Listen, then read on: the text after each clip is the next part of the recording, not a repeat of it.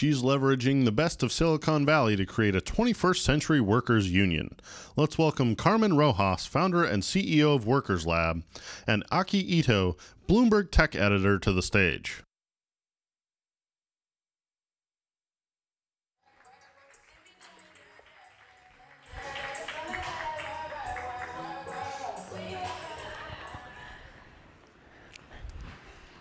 Hi, everyone. Uh, my name is Aki Ito. I'm a tech editor with Bloomberg here in San Francisco. Uh, I host a documentary series about uh, the future of work. It's called Next Jobs. So I've spent a lot of time thinking about this topic that we're about to discuss today. Um, I'm so excited to introduce to you Carmen Rojas, CEO of the Workers Lab. Carmen's been doing some amazing work um, with a group of people here in Silicon Valley who we often overlook, I think. Um, before we get to that, though, um, I'm going to take maybe about five minutes for audience Q&A at the very end, so you can start thinking about the kinds of questions that you'd like to ask Carmen today at the end of the session. Uh, so Carmen, welcome. Thank you for being Thank here. Thank you. This is like a dream scenario to come out to Rihanna's work. me too, me too. Um, maybe we can start off by uh, hearing a little bit about the Workers Lab. What was the genesis? Sure. Um, so thanks so much for having me here. The Workers Lab is a lab that invests in innovations and experiments that build power for working people in the 21st century economy. And the genesis for me, um, what really motivated me to start the organization and to take on the issue of work in the United States uh, was my mom. Uh, she immigrated to San Francisco in the 60s, uh, second eldest of 17 kids, um, and worked cleaning office buildings. And a couple of months in, got offered a job at one of the office buildings, and that job was for a big multinational bank. Um, and at that time, that bank offered her a no interest loan to buy her first home in San Francisco. Mm. So it offered an entry level worker with a middle school education a no interest loan to be able to stay in the city that she worked in because that's um, the values that they had as a company to tether their fate with working people. And as I grew up, I always knew that I benefited from this one moment in time, right? That uh, my mom was really lucky. And I was able to go to great public schools, went to graduate school, but kept seeing my nieces and nephews, um, my younger cousins, struggle a lot harder. Here in the Bay Area. Here in the Bay Area. And it was mostly because they didn't come in this random moment in time when workers and companies, there was, a, there was an alignment, right? My mom benefited. She came at the beginning of the civil rights movement. She came at peak labor organizing. So even though she wasn't a member of a union, she came at a moment when uh, our democracy uh, and uh, our society, that we believed in the public good, that we um, had created a tie with each other and knew that if you were well, then I would be well as well. Mm-hmm. Um, and so uh, I really just refuse to be the last generation of people that gets to benefit from that moment in time. And so the Workers Lab uh, really is an expression of that. Um, a desire to want more, a mm. deep belief that if you work in this country, that you should be able to feed your kids, that you should be able to pay your rent, that you should be able to save to buy a home, uh, that these should not be impossible choices and instead like it should be absurd that we have the language of the working poor in the richest country in the world and so we set out to support these innovations and experiments that demonstrated to the private sector, to the public sector, to leaders in the uh, nonprofit sector and philanthropy, that we could actually have thriving businesses while also doing right by working people. And it's co-founded by the SEIU. That's right? right. One that's of the right. biggest yeah, unions, right. labor unions in that's the world. That's right. Yeah. Um, so the Service Employees International Union uh, set off on this journey about five years ago uh, to figure out what the future of worker organizing was going to be. And collective bargaining was the historical method by which uh, workers were organized in the economy. But they also knew that there were so many other ways that were often left on the table. Things like employee stock ownership programs, cooperatives, um, things like you know like the presentation before the last presentation where workers are actually just able to report the conditions that they're experiencing in the workplace directly and easy and without retaliation um, to help make the place to spend the vast majority of their time uh, easier and mm-hmm. better. And so the workers lab is an investment from SEIU so they gave us our first startup capital. We are the nation's first uh, lab uh, labor funded lab Hmm. Yeah. And so the goal is similar, improving the lives of the working class, but the methods are a little different. It's not a traditional trade union.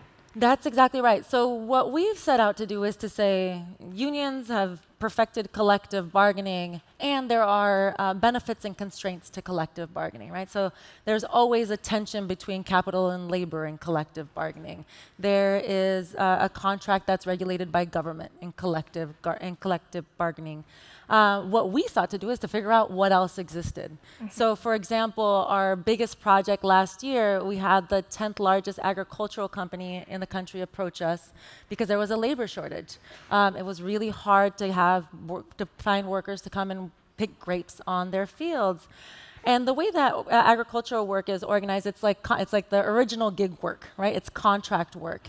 And so they were dependent on all these small contractors to bring workers to the fields.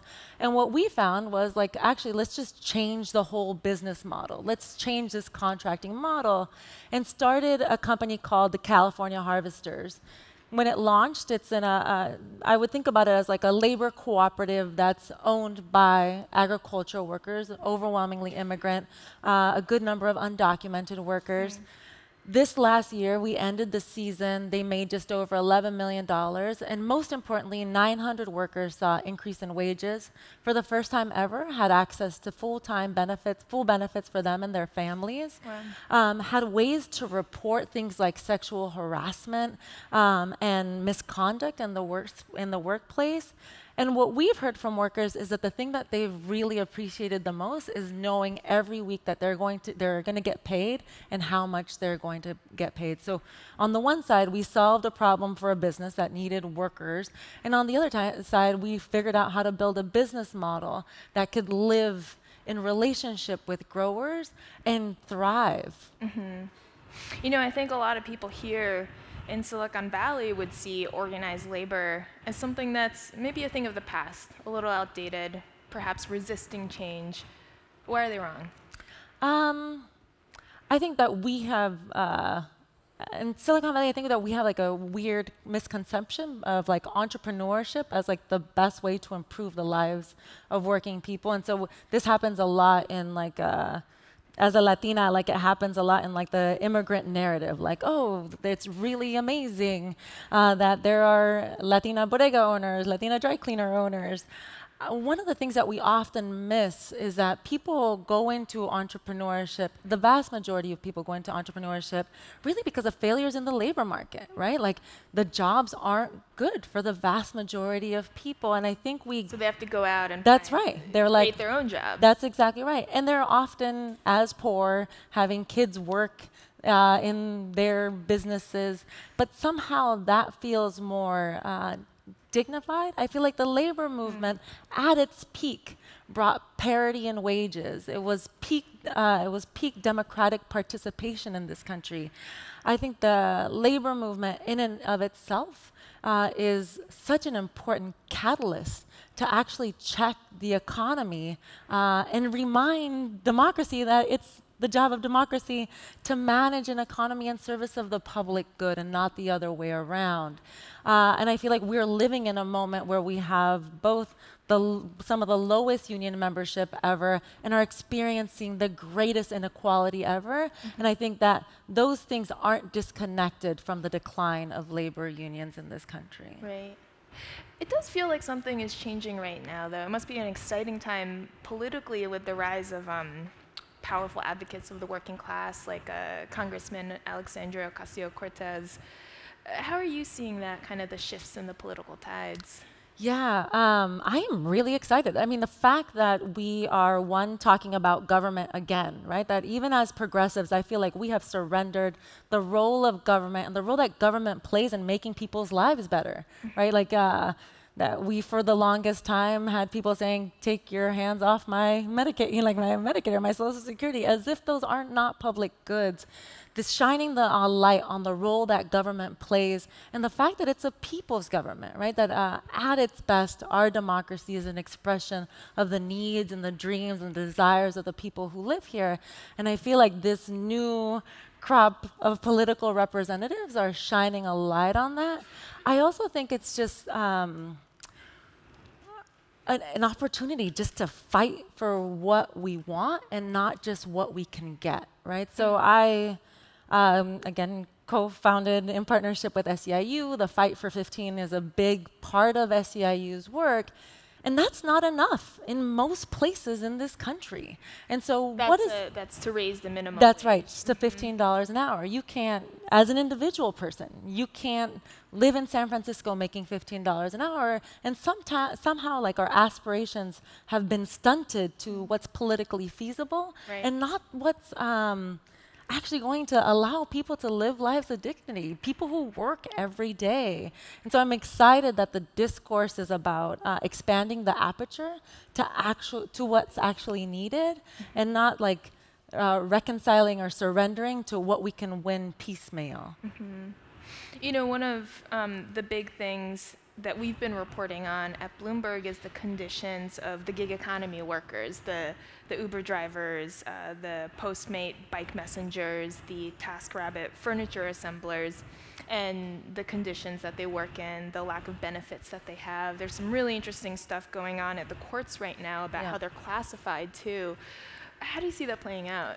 Yeah. Um so I think about it situationally. So gig workers for tech companies represent less than 1% of the total contract workers, mm. right? So there are people like agricultural workers, janitorial service workers that have been the original, all kinds of workers who have been on contract uh, for the longest time and just aren't um, as reportable mm-hmm. uh, or as easy to see as the Uber. We don't want to see them maybe I'll say it that way, as easy as we want to see the Uber driver. So I try to situate the gig economy in this larger context. And I think that gig workers are the canary in the coal mine, right? Like we are starting to see uh, a move to try to shift W 2 work into contract work under the guise of flexibility without actually um, reconciling or talking about the things that workers need to give up the moment they become contract workers for this greater flexibility, right?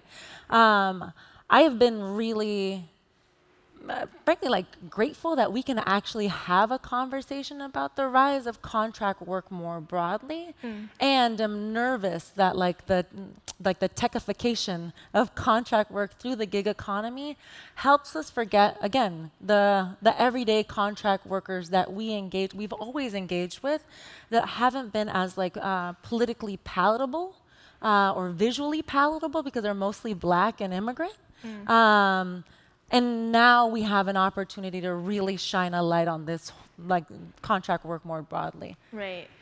Speaking of which, Google just announced that uh, they're going to be requiring all of their contractors to be given certain benefits. Yeah. Um, those are not gig economy workers, more traditional contract yeah. workers. Uh, how? What do you What do you make of that? I think it's amazing, right? So like Google has thirty thousand employees. Uh, uh of those uh, uh 30,000 full-time employees, mm-hmm. they have just as many contractors that right. they have access to. And so imagine. I was like, surprised when I saw that. Yeah, number. no, it's, yeah, it's a lot of contractors. It's overwhelmingly contractors. I think that there's a way in which Google can set a standard for the valley of what. Uh, employer responsibility is when they think about procurement and having contracts with people, mm-hmm. right?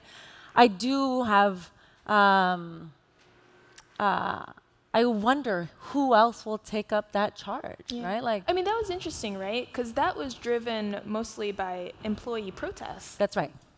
I, well, I mean, I think the Tech Workers Coalition. There are a bunch of uh, two or three pretty amazing groups of tech workers on the technical side who have um, sort of made it their work to put pressure on their company to do better. Mm-hmm. And I feel like we've seen that with worker conditions. So at Facebook and the bus drivers, here at Google, we're seeing it around things like uh, the ways that the government is partnering with contracting companies around immigration enforcement. It's been such a powerful, I think, moment to think about workers uh, in a new organizational form that's not a traditional labor movement, holding their companies accountable for the public good. Hmm. Yeah. That's very interesting.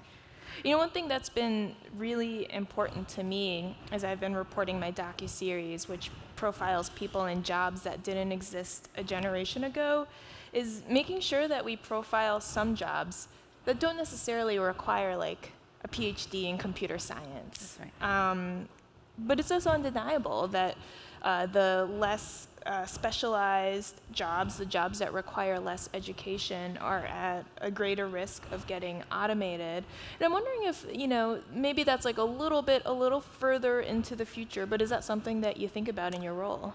Um, uh, like I'm a I'm a rise of the robot skeptic. I am uh, I am like I think about my mom who's now in her 70s and uh, the idea of a robot caring for my mom. So I think about care jobs. That's just not gonna happen. Like We did do an episode about that, actually. yeah, uh, but who is likely to do that? Like, Right. um, are the vast majority of parents likely to let a robot care for their children?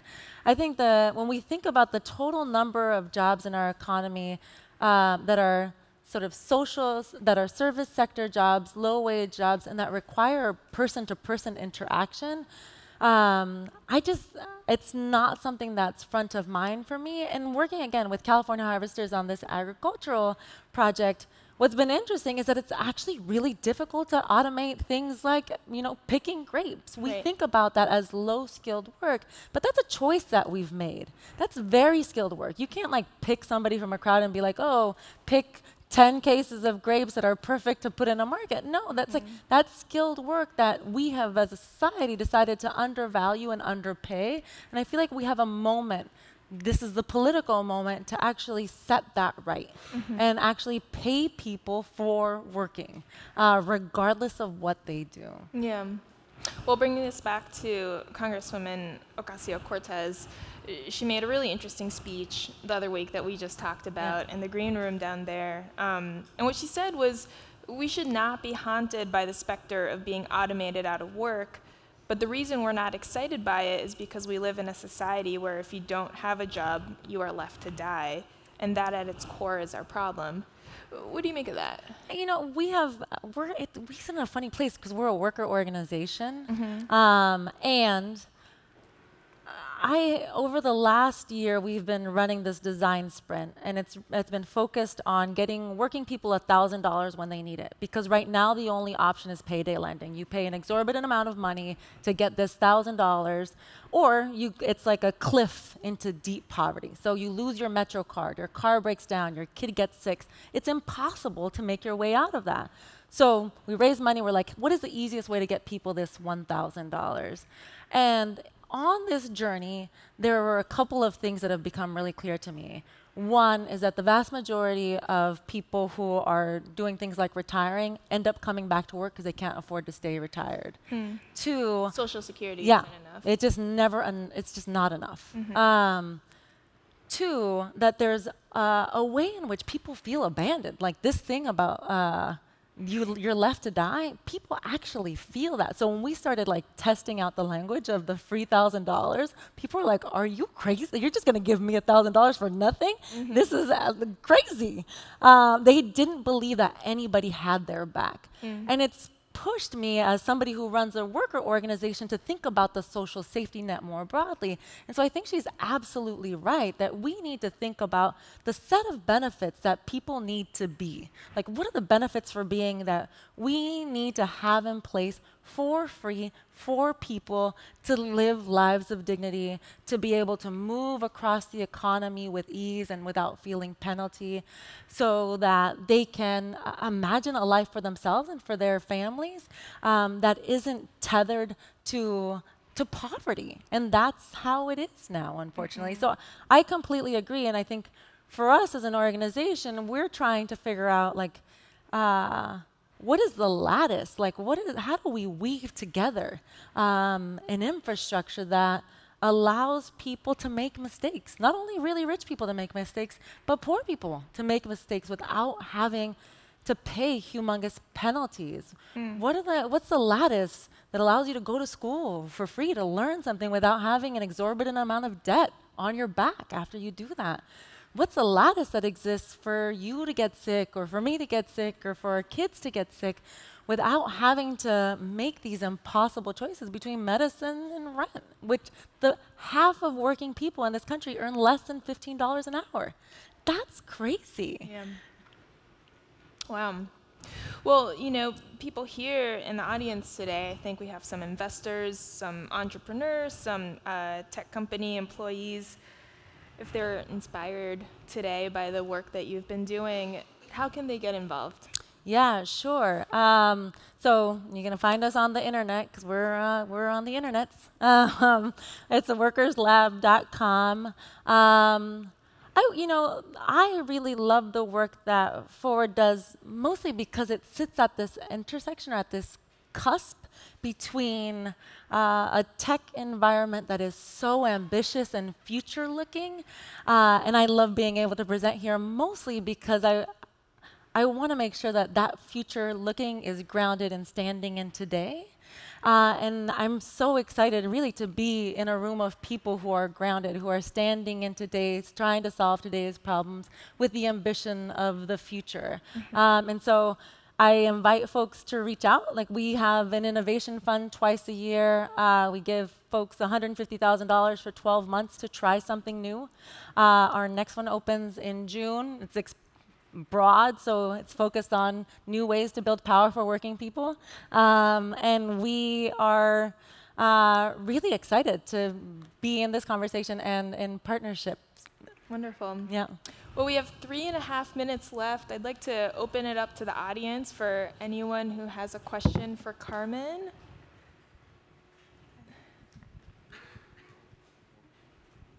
Hi, Carmen. Thanks so much. I'm Jessie Tang, first year full time MBA at Berkeley Haas. I used to work at a workforce development nonprofit. Um, there's been a lot of buzz around universal basic income, especially in the Valley, and I'm just curious to hear your thoughts on, on that and whether yeah. it actually work. Yeah. Um, I don't know if it would work. Um, I uh, like the robots. I'm a skeptic. Um, uh, I uh, I am a whether skeptic. Whether it would actually help people, um, whether the, the government would actually end up doing it. Both things. Okay. Uh, and maybe a third thing, and the third thing is the thing that really bothers me the most, right? Like the source of the universal basic income uh, of the conversation in the Silicon in Silicon Valley is mostly uh, what isn't said is the government programs that provide people things like food stamps, like Medicaid, like Medicare, um, that provide what little tattered benefits that people get today uh, are ineffective. So I'd rather give you a thousand dollars. Um, so that's one thing that's like a signal for me that's a uh, we're not talking about. The other thing is that I worry that we have a long history of doing that, and then what happens is that we give everybody $1,000 and are like, you're poor, you just made a bunch of bad choices with your $1,000. It's too bad that you can't go through to a free K through 12 school because they no longer exist because you had your $1,000. I feel like we have figured a way a way to like financialize these things that should just be a part of the public good. And what's unnerving to me about the conversation in the Silicon Valley about UBI is that that like the the state is inherently a failed actor. Um, and I, I mean, we were talking about this in the back. Like, I feel like as a progressive, we've often pushed a conversation about the failures of government. That's why we have like a proliferating, a growing nonprofit sector. I think we're in the moment where we need to reclaim that. You're like, this is our government, uh, and need to actually insert into the conversation the things that we want government to do and the places that we want government. We want to hold government accountable for failing us and for failing our families and for failing our people. And we're not doing that. And I feel like UBI is like a distraction, like a, for me at least, a distraction in that conversation. Mm. I think we have time for one last question. Uh, yeah, the woman there. I can hear you. Yeah, yeah. Why don't you just speak up?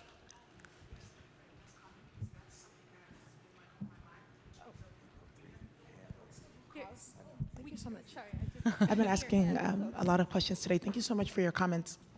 But maybe you can speak to, are, are you doing any work around holding some of these companies accountable for job automation and what that's gonna look like for our communities? Because I don't think people are really understanding that, you know, in our communities, lack of a job is directly connected to child abuse rates in certain communities, crime rates, homicide rates, et cetera. And I see a lot of these tech companies talking about, oh, diversity and inclusion, and this topic is not included. And usually those jobs that are automated are jobs that poor people of color have. Yeah. So. Um, I try to stay of as far as when this like I'm probably not gonna be popular with this audience, but like, well, I'm here on this stage, and um, uh, I try to stay as far away from the DEI conversation as possible because I feel like it's uh, a red herring. It, it, feels like a fake conversation. Like I want a racial and economic justice conversation. I believe that Black people, specifically in this country, uh, have borne the brunt of white supremacy, failed government policies, an economy that was never meant for them, for it to work for them. And I was just saying to Aki, like, uh, our forefathers never imagined somebody that looks like her and somebody that looks like me sitting on a stage like this talking about the future of work. And so our opportunity, I think, is to like push on the boundary of that conversation and instead of um, getting obsessed of like, the one black woman who's going to overwhelmingly get uh, hired to run diversity and inclusion at one tech company and then leave after six months because it's an impossible place to work actually get to the heart of why venture capitalists keep giving money to those companies. Get to the heart of why government actually isn't stepping in and saying we have to diversify boards not just by gender but also by race.